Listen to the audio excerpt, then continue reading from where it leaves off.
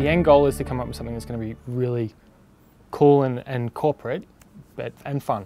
So the the intent to start off with really is form. So we don't really go too, we don't delve too deeply with color to start with. Um, it's mostly form. So fonts and um, treatment and so forth, that's kind of more of the foundation and from there we develop it. For myself, I started off with trying to work out what the number 75 means. I know this is very rough and it's very um, off-putting really in some respects, but this is where I started just drawing up some numbers to try and get a feel and sense of what I think the 75 needs to look like. From there we kind of move on to um, some ideas and concepts that we've developed. So in my approach, I ran through a number of different ways we can play with the styling of 75 years and, um, and that was pretty much my starting point.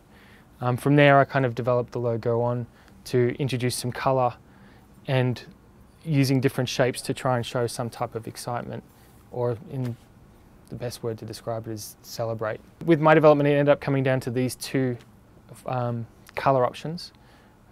One was a bit more angular and a bit more angry in some respects, whereas the other one was a little more um, softer and rounder and, and, injected a lot more colour.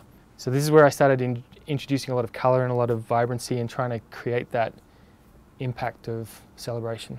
This is where it came down to for the entire team. So there was a total of, what's that, um, 14 logos we presented in the end, which is really cool. Like 14 really diverse variations of um, the 75th anniversary logo. And then it came down to two. So at the end of the day, we had two logos that were selected by the people above me. They were both so strong, we were then asked to do what every designer loves to hear the most. Can we compromise? so we tried, and it's pretty obvious that it didn't quite work so well. Whether um, there are other avenues to take, I'm not sure. I certainly tried to infuse both, um, but it just didn't quite work. And in the end, that's what you see today. The excitement of seeing it is really cool. Seeing it every day, it's it's a great thing. Um, it's a great sense of accomplishment to be able to to do something that people like. Um, that's always nice. Um, yeah, I, I guess it's just a, a nice feeling. But uh, like, uh, like uh, I want to keep stressing, it's not just my logo. It's been created, well, by me, but with the aid of the team. So yeah, yeah. it's good. it's even better when it's massive, like on the bus. That was pretty cool.